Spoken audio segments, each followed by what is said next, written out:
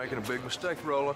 Walk away, please. Rolla, stop it! You're always harping on me when I'm trying to murder someone in front of a huge crowd of people. I kissed him. It was so cute. Oh my god, you are so frustrated. Why are you not listening to me? So which one of them is Radical Jack?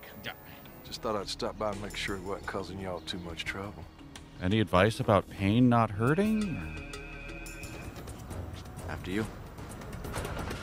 Hi, guys, this is an airport in or around Rutland, Vermont. My, my God, Pink Boy himself might have trod these grounds. Wow.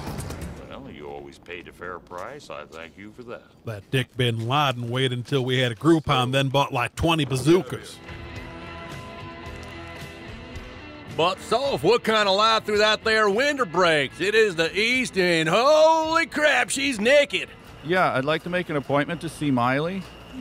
Bravely testing the very limits of achiness and breakiness.